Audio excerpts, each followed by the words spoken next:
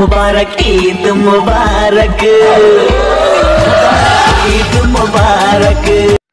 Hello guys, कैसे हैं आप सब लोग? आप सबको मेरे चैनल टेक्नोलॉजी एयर में खुश आमदीद। इस तरह का स्टेटस बनाने के लिए कैप कट ऐप ओपन कर ली। कैप कट आपको प्ले स्टोर से आसानी से मिल जाएगी। आप वहाँ से आसानी से डाउनलोड कर सकते हैं।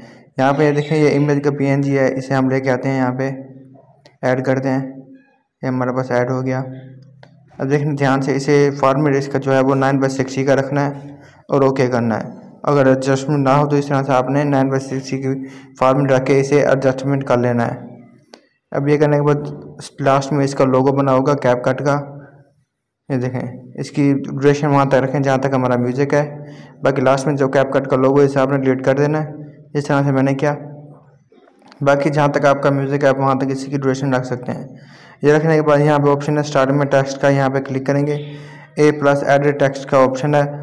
और बाकी आगे बहुत सारे ऑप्शन है तो यहाँ पे हम अपना नाम लिखेंगे किसी का भी, जिसके लिए बना रहे हैं या अपने लिए बना रहे हैं। तो यहाँ पे पहले तो नाम लिखेंगे। यहाँ पे जैसे आपको समझ आ रही है। यहाँ पे देखें मैंने नाम लिखा। ये बैक करेंगे।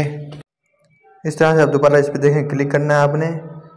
ऊपर पेंसिल वाला जो ऑप्शन नज़र आ रहा है। तो वहाँ पे आपने क्लिक करके इसे एडिट करना है।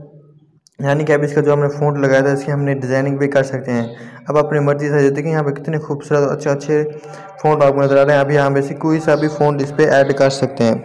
ये अब इसमें कलर चेंज करना इफ़ेक्ट लगाना शेडो लगाना स्पेसिंग देना बोल्ड एक्टा देना, बहुत सारे इसमें ऑप्शन दिए हुए हैं। आप इसमें से कोई सा भी ऑप्शन सेट कर सकते हैं।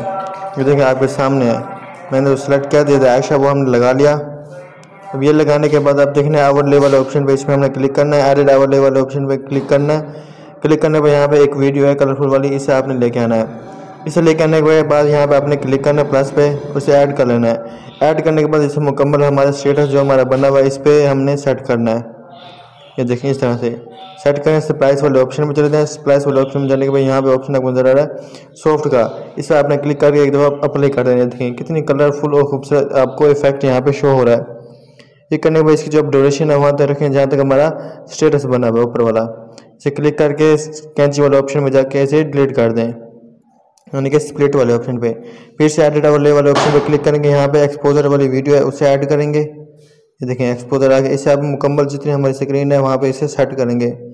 और इसमें जो है स्लाइड वाला ऑप्शन इस पर क्लिक कर देंगे। ये देखें, ये आ गया स्लाइड वाला ऑप्शन इसे यहाँ पे ओके करेंगे। ओके कर दें बिल्कुल। ये देखें एक्सपोजर वाला इफ़ेक्ट भी इसमें ऐड हो गया। अब यहाँ पे इसे ओके करें। अब स्टार्टिंग पोजिशन में आएँगे।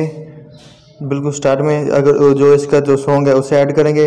तो इसमें क्या करेंगे, पहले ऑडियो वाले ऑप्शन में क्लिक करेंगे एक्सट्रैक्ट ऑडियो वाले ऑप्शन में क्लिक करेंगे। ये देखें वीडियो की शक्ल में जो मौजूद है, कोई सा भी हो, मैं वैसे आपको बता रहा हूँ, इस तरह से आप इंपोर्ट करके साउंड इसमें ऑडियो की शक्ल में मौजूद है एक्सपोर्ट